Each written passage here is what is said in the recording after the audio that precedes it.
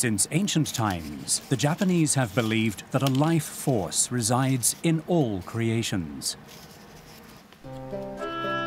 Valuing and caring for the things we use, a zero waste life.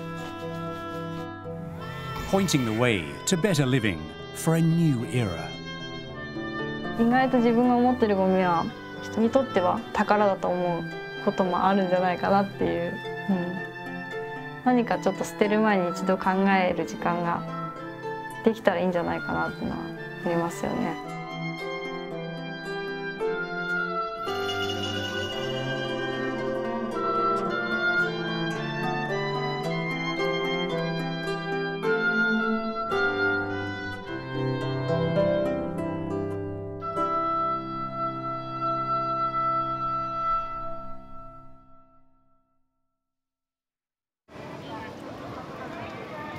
Trend-setting Shibuya, Tokyo.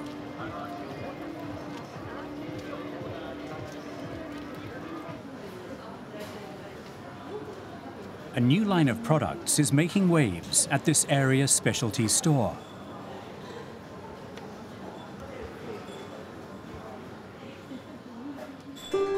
This fashionable line of jewellery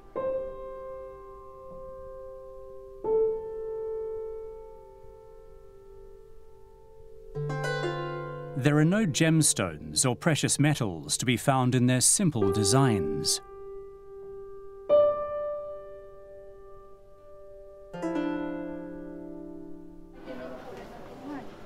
Their creator is Kigami Natsuko, and the jewelry she makes has a secret.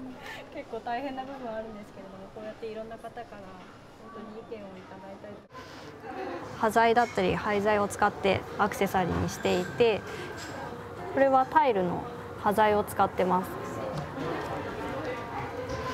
余った材料だったりちょっと色ムラがあるものを使ってアクセサリーを作ってます Building construction and demolition both create large amounts of waste.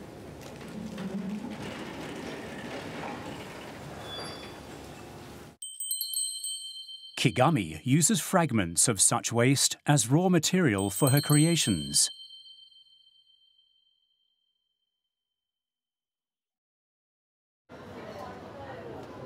Her work is very popular with young people.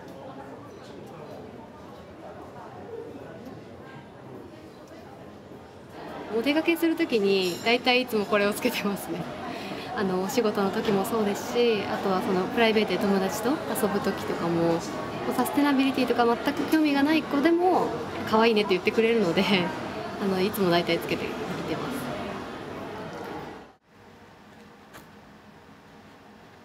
Kigami is always collecting scrap material, which she uses in the pieces she creates every day.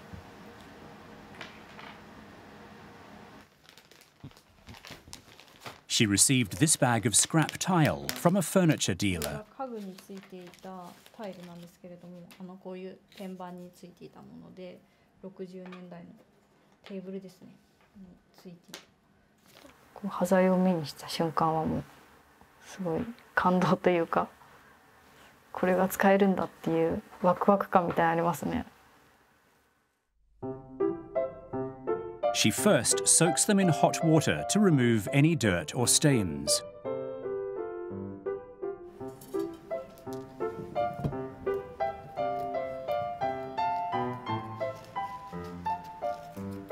Any metal components are carefully filed smooth.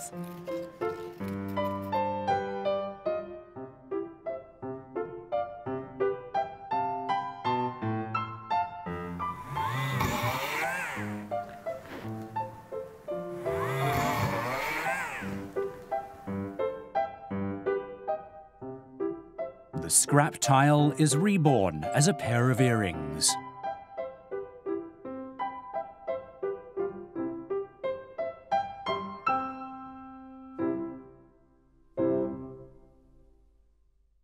そもそも何のゴミなのかとか端材なのかっていうところをこう一緒にアクセサリーとして説明するのすることでそのもの自体にも興味を持ってくださるかなっていうところでそこは大切にしてますね。After graduating from university, she became an architectural designer. While she did her best, she also faced difficulties.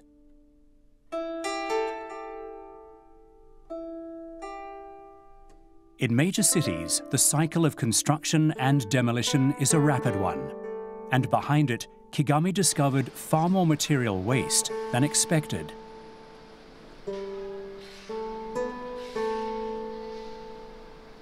初めて見た時はやっぱり驚いたのとあとは少し持って帰りました 何かできないかなっていうのが当時からあって別の形で何か他の方にこう手に取っていただけるようなものにしたいっていう気持ちが強かったのかなと。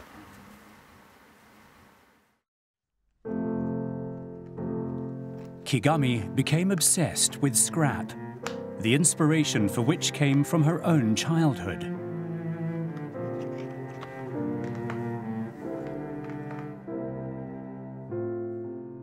Her grandmother passed away, and the home she had often visited was torn down.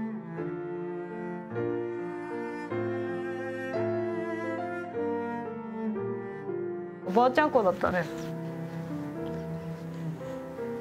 当時何もできなかったからまあ残してくれとも言えないまま本当壊れちゃったんで祖母との思い出がかけらになってこうなんだろう部分としてでも残すことができたらなっていうのは今も思っているところではありますね。There must be a home for such unwanted things. It's this thought that inspires her work today.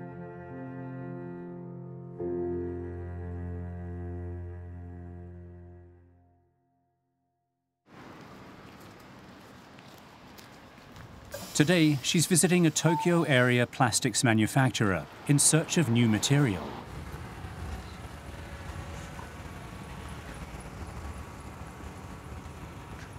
あここですね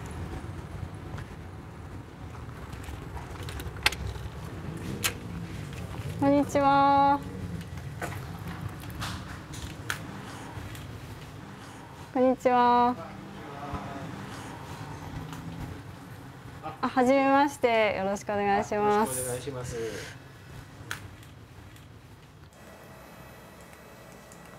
Here, they use milling machines to make plastic parts for industrial machinery.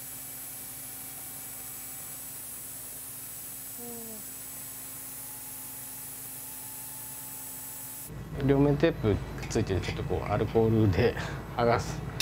こんなのが端材になりますんでこんな。え The shape of each part is different, so large amounts of scrap are generated.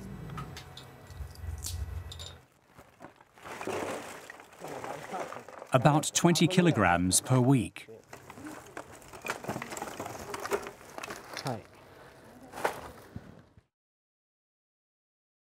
And they have no way to make use of it.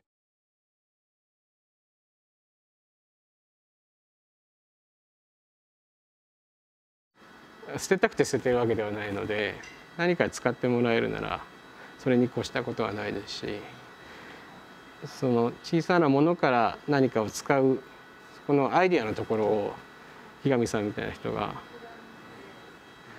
提供してくださるというのはすごい嬉しいですね。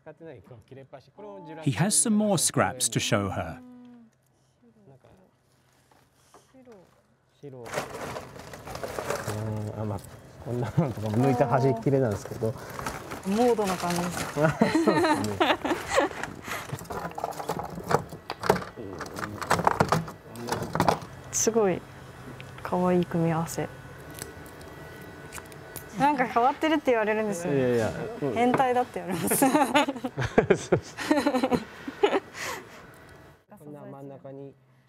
Her latest creation will be produced here in the factory, based on a model she's designed.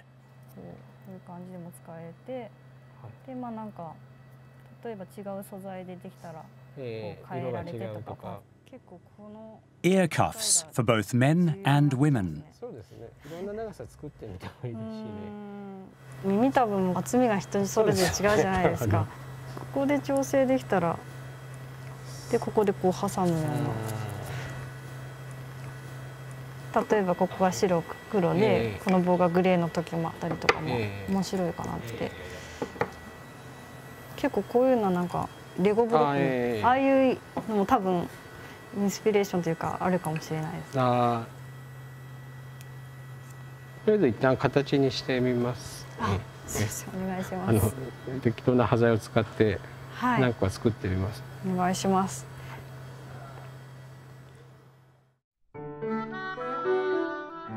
These are a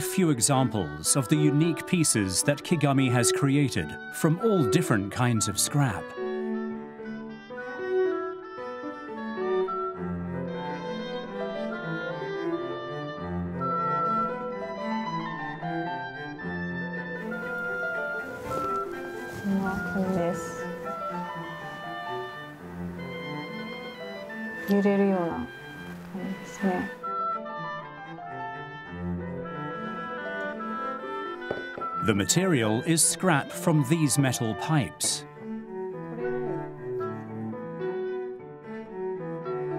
The motif is raindrops falling in a gutter.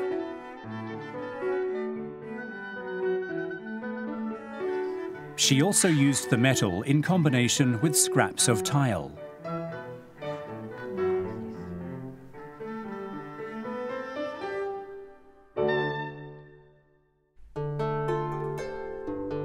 Each piece emphasizes the innate charm of the original materials they're made from.「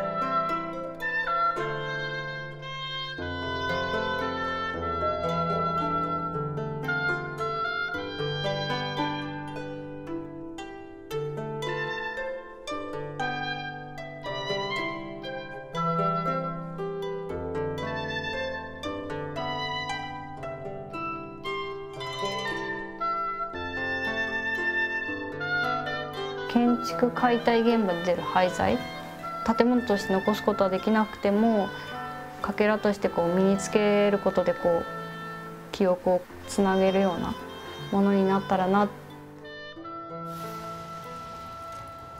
Kigami returns to the factory producing her new design.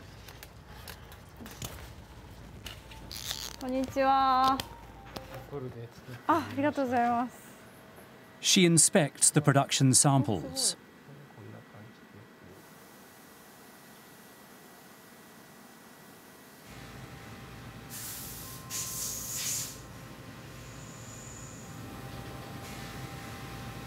どうだろう。男性でも使えそうですかね。グイッと押すとあ。できます？あそうですね。だだいぶあだいぶがっちりつきます結構どこでも挟めますね。そうですね。あこの方がなんか形としては面白いのかな、うん。ありがとうございます、例えば何か使い道がこうして生まれたっていうのは非常に嬉しいですよね。ちょっと手を加えてあげるだけでゴミもゴミじゃなくなることもあるとは思うんですね、うん、誰かの元で輝いてほしいっていう気持ちはあります。いってらっしゃい感があります。いってらっしゃいっていう気持ちでいつも作ってます。